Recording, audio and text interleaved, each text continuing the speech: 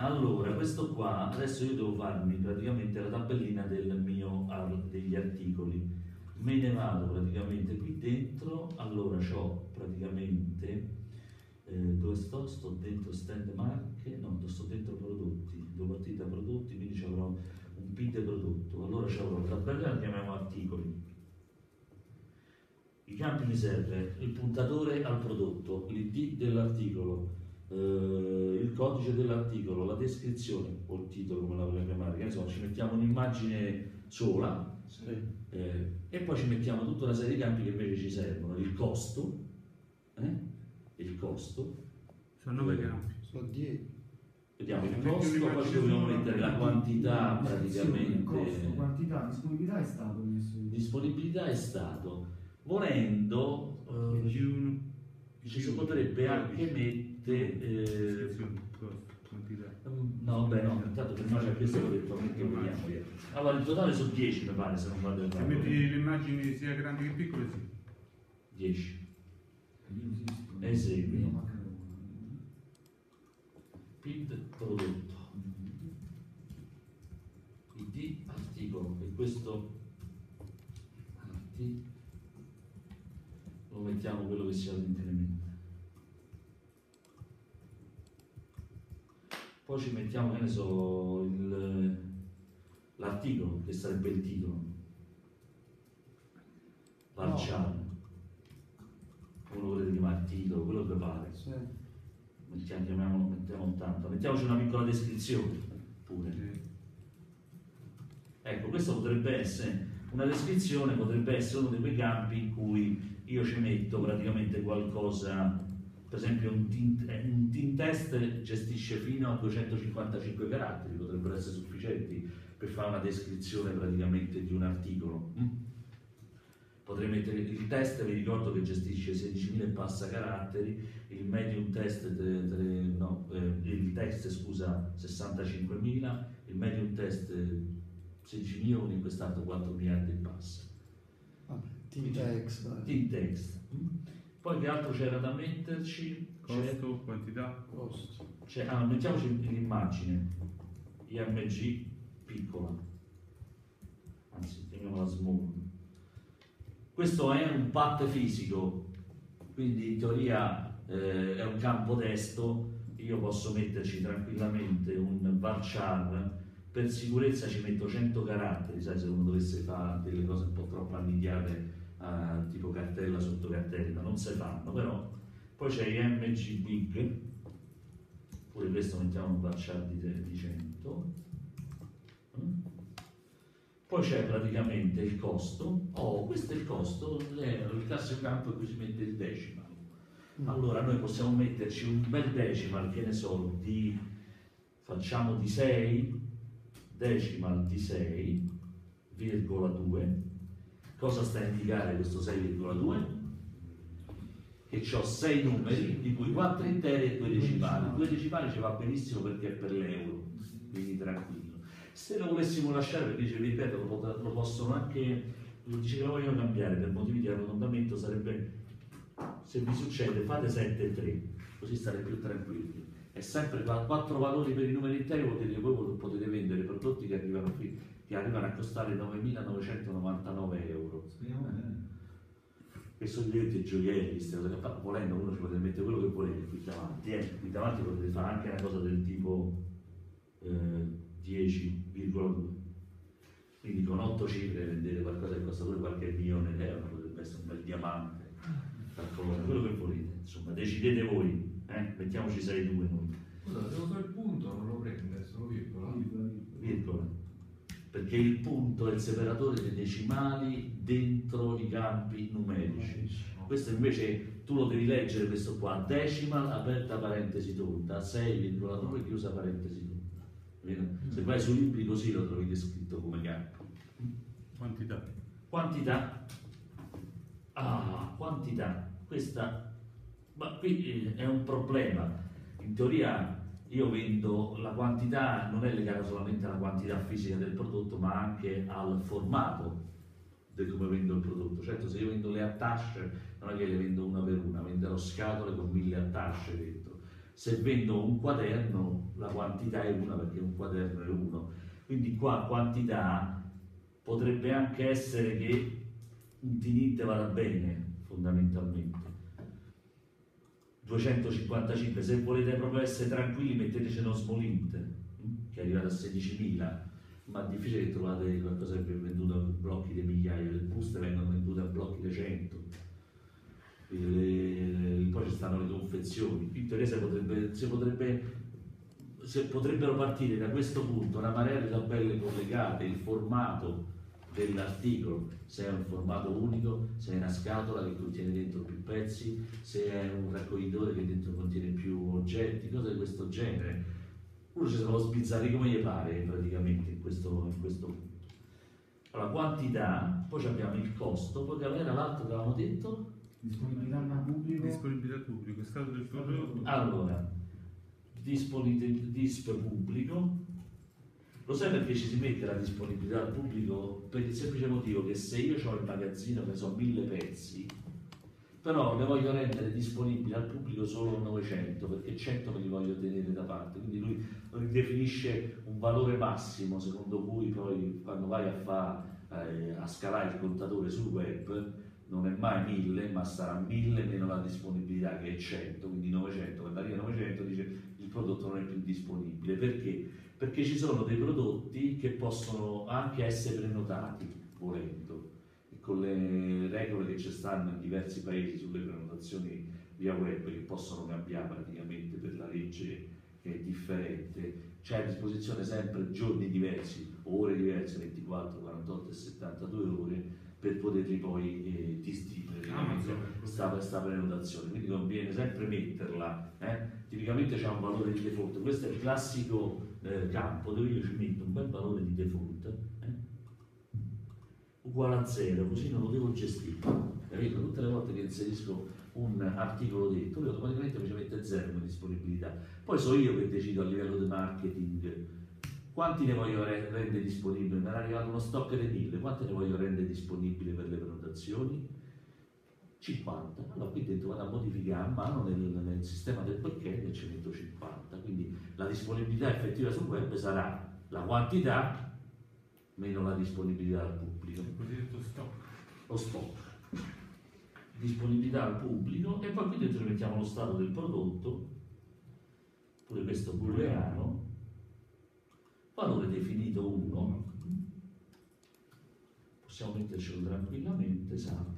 Ripeto, questa è una, è una tabella minimale per quanto riguarda la gestione degli attivi, Ci abbiamo messo proprio le cose proprio minime, eh, perché ripeto, qui uno si può sbizzarri come, come gli pare, perché possono... stai giorni a progettarlo, No, in teoria ci stanno database, cioè se ci stanno libri che già sono progettati queste cose, capito? Che uno va là, se li studia, perché ci stanno degli studi sotto, non è che se fanno le cose fatte così a- alla, alla rinfusa, ci stanno degli studi a seconda del particolare settore merceologico e il prodotto va catalogato in un modo, se tu pensi all'abbigliamento, cioè questa camicia esiste, questa camicia è a maniche lunghe, blu a righine nere, eh, taglia collo 6, XL, XXL, M, poi esiste la stessa camicia eh, bianca, righine rosse, stessa cosa con la taglia e cose di questo genere. Poi ci sono le confezioni, ne hanno fatte le confezioni offerte, ne vengono vendute tre a costo di due. C'è tutta una, una teoria sotto che è campaninaria, quindi uno, poi se, in teoria uno deve pure studiarsi, deve pure andare a cercare queste cose sul web, eh, per è difficile che trovi. Però ci stanno dei libri eh, che spiegano come catalogare. In quel sito là che ci hai dato? Non lo so, perché io è un sito prettamente informatico, questa è più una, è una è quella- è più una questione merceologica questa, eh? di marketing pure. Quello è è meraviglioso, Molto buono. che trovate migliaia e migliaia di No, infatti in pure il mio capo ti ringrazia proprio. Grazie, grazie. No, ma io quando l'ho, l'ho- l'ho scoperto, io l'inglese lo parlo malissimo, però leggerlo lo leggo, anche perché i tecnici tecnici interni sono quelli, sono 300-400 vocaboli, in centinaia di verbi, eh, di linguaggio tecnico informatica, eh, c'è tutta sta, sta cultura sotto. Ma pure normalmente. Eh? Ah, sì. Allora io mi sono fatto praticamente i miei articoli, me ne vado praticamente dentro il mio database e ho finito praticamente quella che è la parte. Ci sto. Ma come che va così lento? Se gli avrà attaccato il morbo Eh? Barbo di Mac. Il morbo dei Mac. Allora io me ne vado. No, ma perché non mi avesse fatto sparire cose. Maledetto. Allora fammi così. Vediamo se riesco a fare una cosa che si riesce a vedere tutto quanto dentro. No, sì. Allora io mi metto qui dentro relazione, ID prodotto, print prodotto, ok. Perfetto.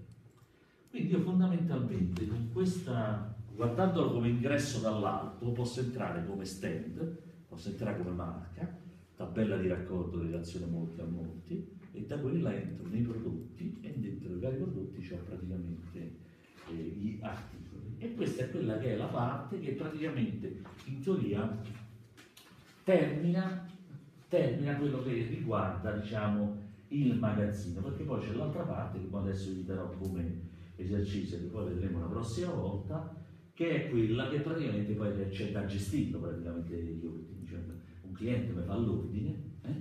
l'ordine è composto da più righe, cioè quindi ci avrà un dettaglio, l'ordine è evaso, è in viaggio, è stato annullato, è stato parzialmente annullato, è stata emessa la fattura, quindi ci vuole pure la parte che riguarda la fatturazione, fondamentalmente. Eh, noi per il flash non l'abbiamo fatto tutta a manina, adesso già, già si trova qualcosa di pronto, nel senso che ci sono molti siti, soprattutto americani, dove scarichi proprio intere pagine PDF con eh, tutte tabelle, con tutte le relazioni e tutto quanto, quindi uno può fare anche copiare a man bassa praticamente per quanto riguarda la progettazione.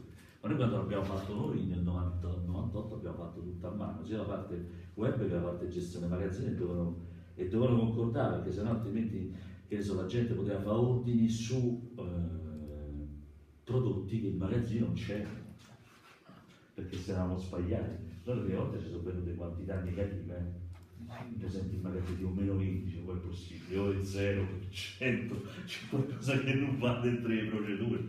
Meno male che abbiamo voluto fare i test.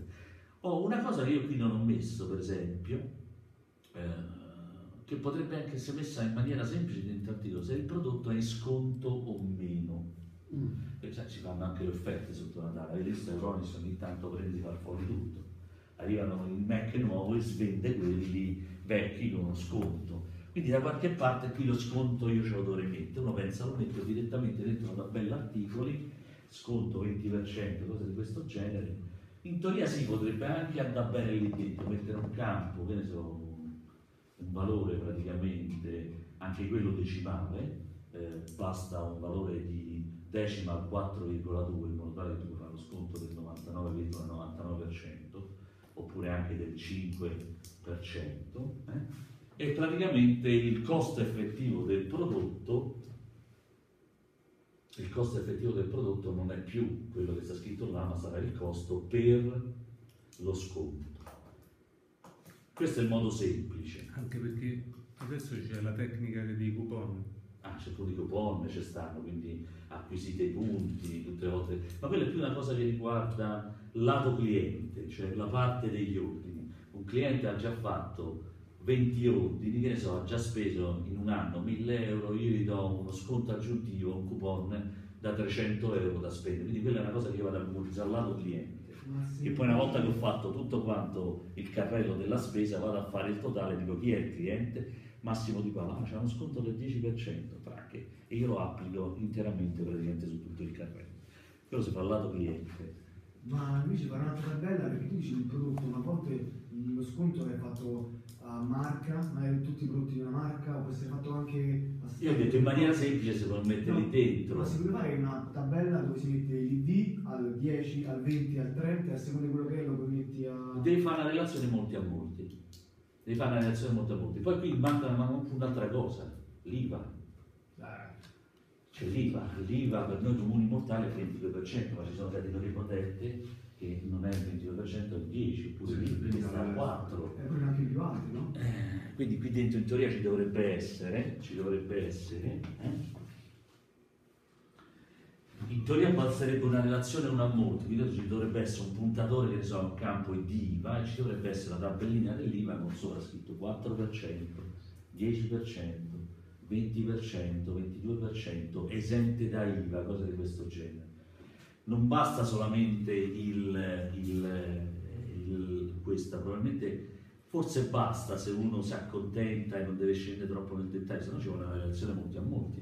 Perché io per esempio potrei comprare un televisore che ha l'IVA al 20%, però sono so, un disabile e ha uno sconto particolare e quindi quel 20% poi invece va sostituito con l'altra voce disabile. Cioè, ci sono un po' di introvoli, di, di, di, di, impicci, però qui normalmente una tabellina IVA è un puntatore, cioè io qui dentro che so, metto un campo eh, dove lo mettiamo? Lo metto praticamente, allora mettiamo sia lo sconto, come lo volete mettere lo sconto?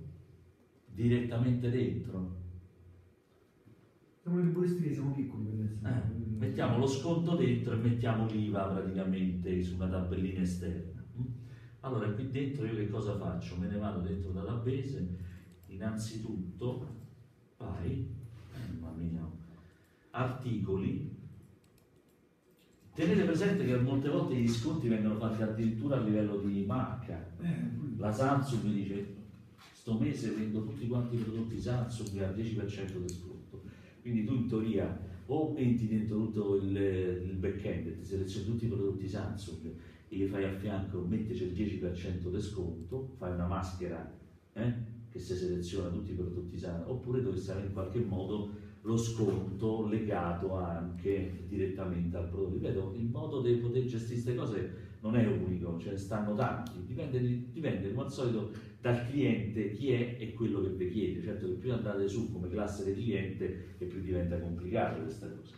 Ripeto, un conto è fatto il, car- il cartorato sotto casa e un conto fatto per un euro. Adesso diciamo stiamo cercando di capire come si fa praticamente un database che deve gestire una parte web e quindi un magazzino sotto, a cui bisogna scalare delle quantità, e la parte che riguarda praticamente gli ordini. La filosofia stiamo cercando di capire, non di progettarlo per intero, perché quello di volta in volta va adattato anche al tipo di vendita che tu fai. No?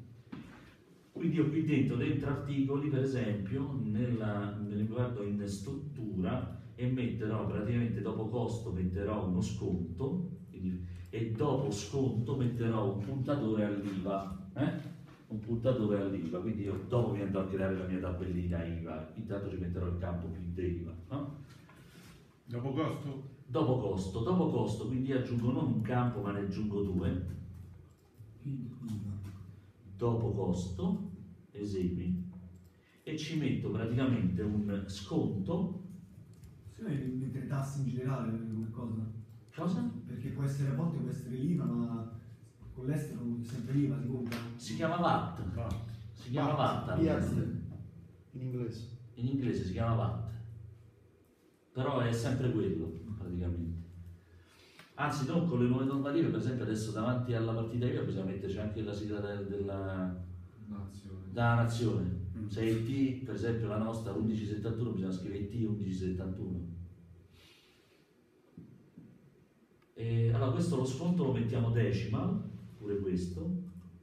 Bastano praticamente 4,2 quindi vuol dire che posso fare al massimo uno sconto del 99%. Qui in teoria che valore di default ci va? Allora, il costo effettivo del prodotto è dato dal costo per lo sconto, no? se fai 1000 per 0 devi è 0, A uno. ti metto 2 in tra la terza media ti metto 2 in quindi.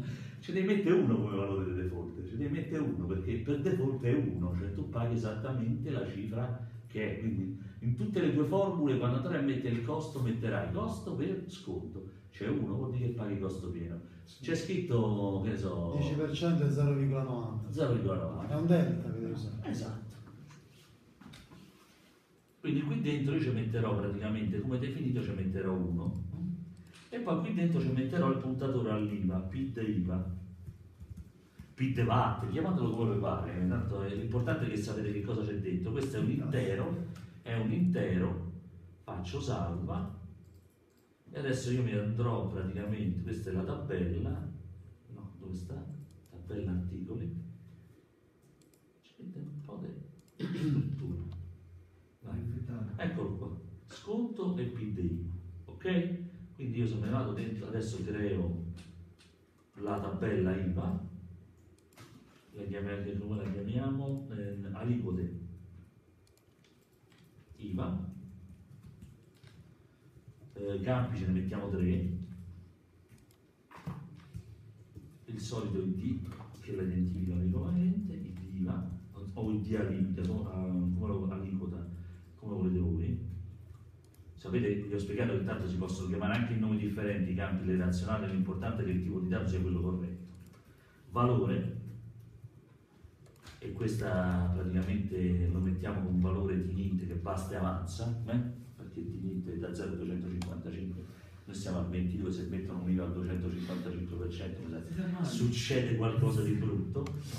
Eh, allora qui l'IVA io in teoria ci potrei anche mettere un valore di default pure qua, mettendoci per esempio 1 quando, che corrisponde al caso che è esente da IVA, no?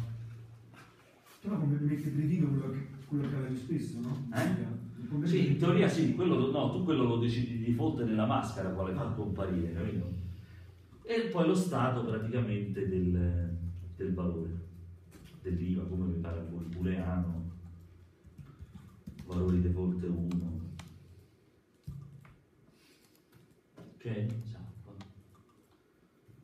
Quindi vedete, andando a sfreguliare, poi alla fine uno nel- nel- stiamo anche simulando il fatto che state parlando col cliente, gli state chiedendo che cavolo ti serve, quindi ogni tanto vedi, tu parti da un progetto minimale parlando col cliente te- te- ti escono fuori cose nuove che lui ti dice no guarda dobbiamo gestire anche questo perché lui è, è completamente inesperto di questa cosa però sicuramente è molto esperto per quanto riguarda la gestione finanziaria della sua attività no? quindi qui dentro ci mettiamo aliquote IVA sta messa qua questa è una relazione del tipo 1 a molti. Clic clic clic ok. E questa io praticamente c'è una cosa. Salvo. Perfetto. E questo praticamente è il mio eh, database lato lato praticamente a fatal error JavaScript. Sempre sto maledetto fatal error JavaScript che poi l'avete mai visto i dettagli Sì. della segnalazione Sì. cioè, fate l'error. ti dice tutto qualcuno di voi sa JavaScript conosce JavaScript Sì, sì. Eh. Io l'ho sempre un pochettino un po' odiato, infatti ho iniziato a studiare framework, tipo Angular, JS, jQuery senza sapere JavaScript. Si può fare. Io non credo che il GS proprio sarebbe bene JavaScript. No, no, non è vero. JavaScript serve per farli i framework, non per usarli. I framework sono librerie che ti, ti fanno 50 librerie che fanno 50 cose, devi imparare quelle 50 cose. Se te basta non devi conoscere JavaScript, devi, già devi mettere a bambini. Ma ormai si fa praticamente quasi tutto tramite framework. JavaScript non lo utilizza. Se alla peggio su Google, e ti esce. e ti esce fuori prima. Ok, questa allora, quindi questa vedete è la nostra praticamente eh, sezione magazzino, ma anche ciò che vedremo sul web. Ci sono alcuni eh, dati che vedremo sul web, altri invece che si vedranno totalmente dentro il magazzino. Come vedete, cioè, è un- non, abbia- non siamo entrati nel dettaglio praticamente di tutte le informazioni, però già abbiamo costruito qualcosa che è abbastanza complesso. Perfetto, allora se adesso... Vuoi, se vuoi io ti avviso, sono le 7.30. Ah, voglio via il caffè, via del caffè. No, no, No, se no, vuoi, eh. Via del caffè, dai. No, che tu l'altra volta Sì, dici... sì, no, perché sennò io continuo fino alle 8. Possiamo pure- Fai come dici, eh, No, sono tre ore, capito? Almeno è meglio fa bilanciare, un'oretta e mezza, un'oretta Se e no mezza. si fa la peppa in bocca. La cosa che hai detto a bocca.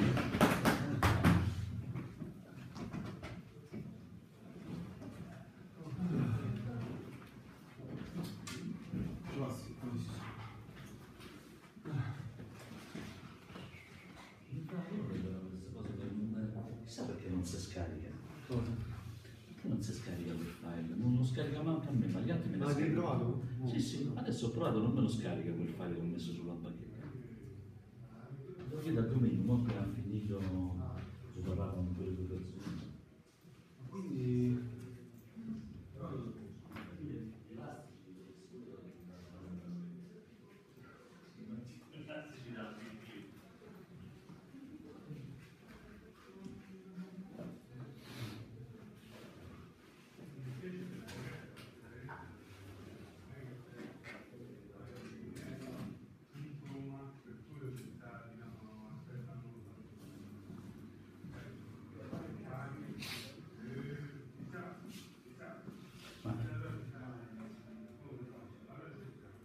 Stamattina quando mi sono alzato io alle 7 c'era la nebbia fuori dalla finestra. Ho aperto la finestra e si vede il palazzo di fronte. Bello. Poi questo è il periodo, capito, che ci stanno queste escursioni termiche tra il giorno e la notte e crea questa cosa. Quando non si stabilizza il tempo, non si raffredda ancora di più. Perché per esempio ieri sono andato, no, domenica sono andato a Villa Panfiglia a correre, l'una faceva 19 gradi. 19 gradi per me. Faceva caldo, si stava una meraviglia, perché faceva quel caldo, quel caldo che non sudi, però la sera poi a mezzanotte sono entrato a casa e c'era la nebbia, perché giustamente tutto il calore assorbito durante il giorno, poi si è abbassata la temperatura, stava intorno ai 10 gradi verso mezzanotte, quindi la nebbia. Portavo la merenda che a pranzo. Ah, una mangiata.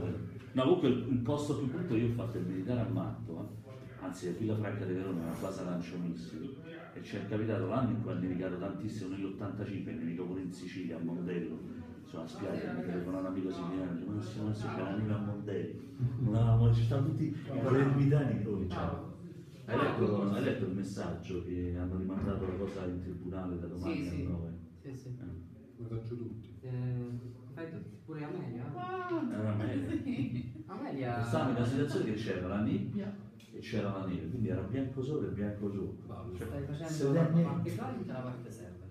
Credo dica un po' basta, a me ne Sì, no, Cioè, io sto la casa in Abruzzo, a sotto la maglietta, io io a Campo di Cielo. ho fatto un po' di- Là l'anno scorso, ah ma quest'anno a Pasqua io avevo il corso di. Ho dovuto fare la prima lezione perché sono rimasto bloccato a Pasqua che nella era mezzo metro. Di base la due programmi di cui ci sono uguali. Non i sì, capelli sì. perché Ma poi molte cose